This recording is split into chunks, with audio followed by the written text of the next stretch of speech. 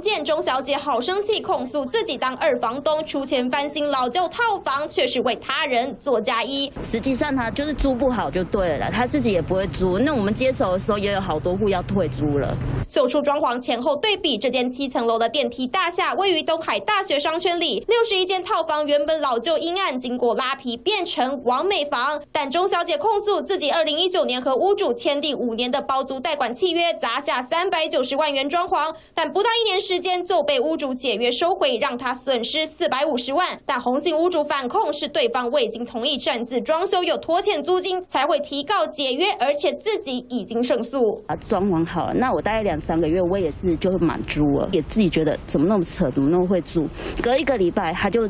寄存人信啊，呃，修缮费啊，还有税金啊，扣他租金的事情，那些扣缴凭单啊，为什么要扣他租金的事情，他觉得他很不开心啊。钟小姐怒控屋主不愿负担后续修缮费用，用眼红单间租金三千涨到五千，想拿回去自己出租，不但扣留押金，还霸占装潢。但红星屋主也出面反控，他积欠超过两个月以上的租金，他在里面做了所谓的一些装修。有蛮多是没有经过我们同意，我们这个是已经啊法判决结束的东西。对于他的一些遗留物啊，相关的一些物品，我们已经催告了他 N 次啊，要来取回，他也都一直不来。红杏屋主强调自己是合法解约，但钟小姐认为判决有误。这场大房东和二房东大战俨然成为罗生门。蔡先生刘。